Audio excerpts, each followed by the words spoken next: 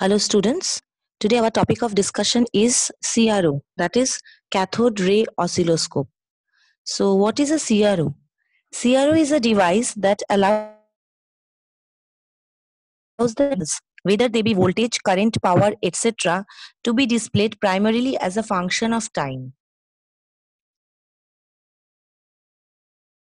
is a multi-purpose display instrument used for the observation, measurement, and analysis of waveforms by plotting amplitude along y-axis and time along x generally an xy plotter. On a single screen, it can display different, different channels. It can measure amplitude, frequencies, and phase shift of various signals.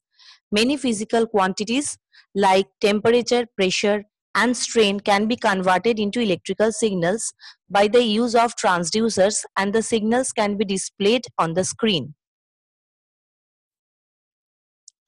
A moving luminous spot over the screen displays the signal. CROs are used to study waveforms and other time-varying phenomenon from very low to very high frequencies. The central unit of the oscilloscope is the cathode ray tube and the remaining part of the CRO consists of the circuitry required to operate the cathode ray tube. This is a basic block diagram of a cathode ray oscilloscope. So what does this consist of? The CRO consists of the following. CRT that is cathode ray tube, vertical amplifier, delay line, horizontal amplifier, time-based generator, trigger circuit and power supply.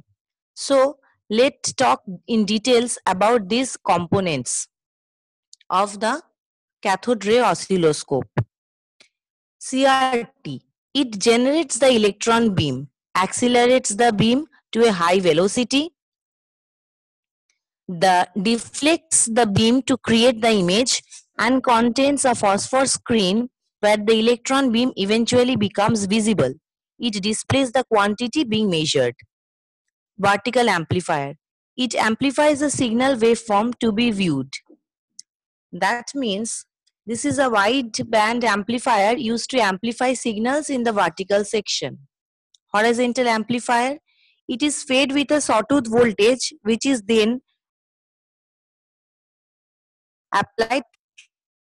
It amplifies the sawtooth voltage before application sweep or time-based generator. It produces sawtooth voltage waveform used for horizontal deflection of the electron beam. Trigger circuit used to convert the incoming signal into trigger pulses so that the input signal and the sweep frequency can be synchronized.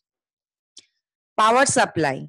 The high and low voltage power supply blocks provides the voltages required by the cathode ray tube to generate and accelerate the beam as well as to supply the required operating voltages for the other circuits of the oscilloscope.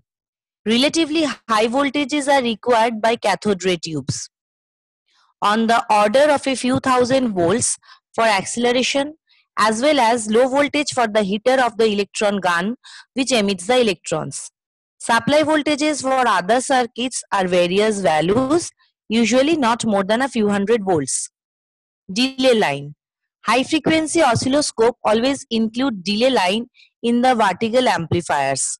The purpose of such lines is to delay the vertical signal enough to keep it from reaching the CRT deflection plates before the horizontal sweep circuits are running. That's all about the details of the components of the block diagram of a cathode ray oscilloscope. The in the next class, we will study about the working of a CRO and application of a CRO. Thank you.